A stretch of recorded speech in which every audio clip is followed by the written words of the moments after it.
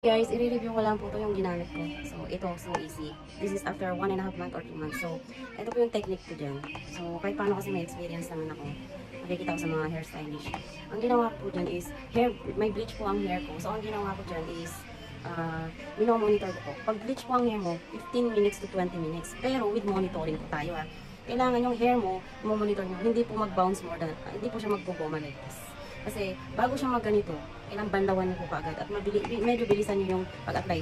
Sa may damage po ang hair, ay hindi, kung new growth po ang hair, 30 to 40 minutes. So, ang gagawin niyo is, i-apply niyo po yung, eto, pag halimbawa 20 minutes na yung hair niyo dito sa sa new hair niyo, isa kanyo na lang po applyan yung yung may bleach. So, iya, ba, mga 20 minutes sa mga new growth niyo, tapos ito naman, isusundan nyo yung bleach nyo for 15 minutes. Pero hindi po dapat mag-bounce ng ganito. Kasi pag nag-bounce po ng ganito, sunog po yun. Ibig sabihin, nag-rubberized na yung buhok.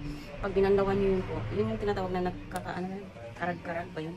Nakarangkang sabi nila. Parang walis tambo. Yun magiging finished product niya.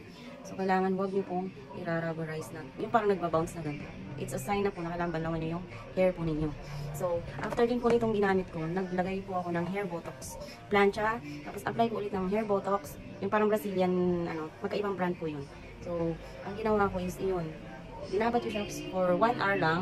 Tapos, mas maganda 2 hours. Yung almost mag-dry na siya sa hair mo. Tapos, i-blow dry mo. Pag na-blow dry nyo po is, ano na, hindi nyo po babanlawan yung Brazilian sa buhok ninyo. So, doon nyo na siya pa-planchahin. I-blow dry nyo po hanggang sa pwede na siyang, ano, pwede na siyang planchahin. Mas maganda po yung effect niya. For 2 months, okay naman siya kasi, ayun, nakatipid. Kasi medyo kuripot po. Hindi naman kuripot. Practical lang po kasi na, ano, nanay ka na. Problema lang kasi sa hair ko. Ayan po. May, puro puti na po ako. So, medyo na, kaya siya nagtutry kasi nga, nagkulay po ako. Just 2 weeks ago. So, kaya medyo nag-ano pa yan, nag, medyo nabuhag-hag kasi nga, di ba?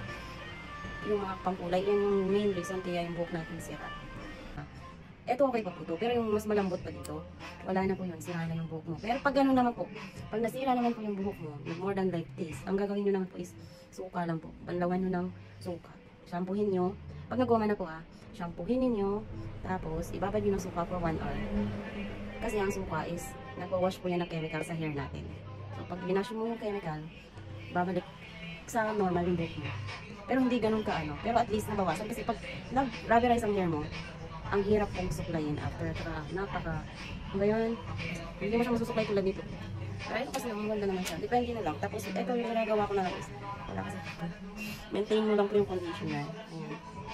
Tapos bumili kayo ng shampoo na pang ano sa pang kulay talaga. Ano uh, anyway po yung kanina hindi ko nabanggit kasi kung recommended po kayong so easy so for me po okay naman po siya. Pero kung yun po ay matyaga po kayong gawin yun sa sarili nyo yung, kasi mas nakakapagod po pag ginawa nyo sa sarili nyo.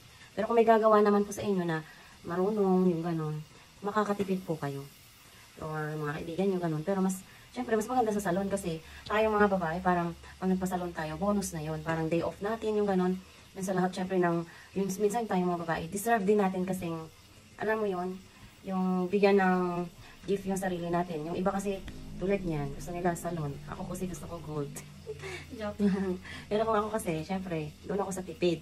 Pero kung ako, pagpipiliin ako ng gagastos sa akin, syempre pipiliin ko yung may value, yung lifetime guarantee. Like tulad nun yun nga, gold. Sana may mag-sponsor. Joke.